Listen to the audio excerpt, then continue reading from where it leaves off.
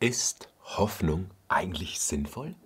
Macht es Sinn, dass wir uns eine Zukunft vorstellen, wo wir hoffen, dass es besser wird, dass es anders wird, dass wir einen Partner finden oder einen besseren Partner finden, unseren Traumjob finden? Ist diese Hoffnung für eine bessere Zukunft sinnvoll oder eher destruktiv? Und ich wurde oft diese Frage gestellt und habe lange darüber nachgedacht und kontempliert und meine Antwort ist Jein. Ich glaube, eine gewisse Hoffnung ist wichtig, die wir in unserem Herzen tragen. Dass wir sagen, okay, die Zukunft wird Momente geben, in denen ich Dinge erlebe, die schön sind, die mich zum Strahlen bringen, die mir Freude bringen, die, die mir etwas in meinem Leben geben. Gleichzeitig steckt in der Hoffnung auch eine ganz, ganz große Gefahr.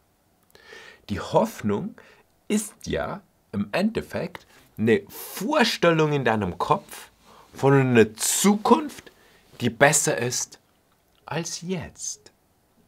Und damit verlieren wir den Blick auf den jetzigen Moment.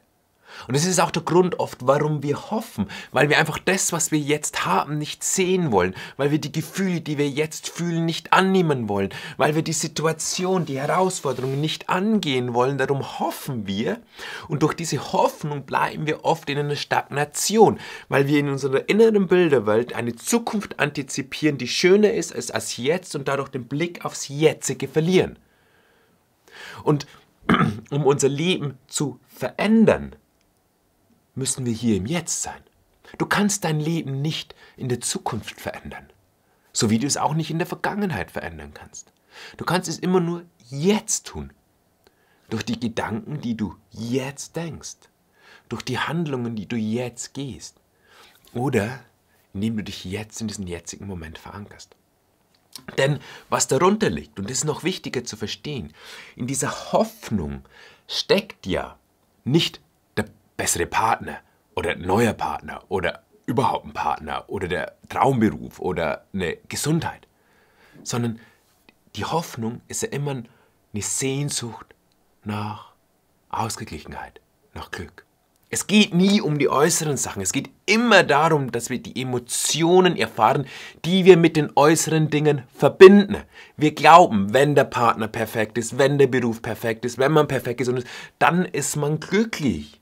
Das heißt, wir suchen ja eigentlich mit der Hoffnung das Glück. Aber die Wahrheit ist die, das Glück ist immer nur im Jetzt und der Mensch, der nie gelernt hat, die im jetzigen Moment zu sein, für den macht das Hoffen keinen Sinn. Weil er, auch wenn die Zukunft eintritt, sein Geist immer nur in der Zukunft hängt und nie im jetzigen Moment. Und gleichzeitig bin ich in der festen Überzeugung, dass wir innere Konflikte und wenn wir in einer Traurigkeit, in einer Wut, in einer Scham, in einer Schuld, in einer Angst, in schwierigen Emotionen stecken, was uns dann zum Hoffen bewegt, dass wir diese inneren Konflikte nie im Außen lösen können.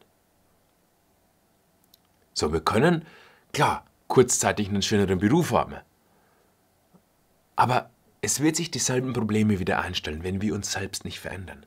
Das gleiche gilt für den Partner und sogar für die Gesundheit. Und darum ist es so wichtig, auch wenn gerade das Jetzt schwierig ist, wenn gerade das Jetzt eine Herausforderung ist, dorthin zu blicken.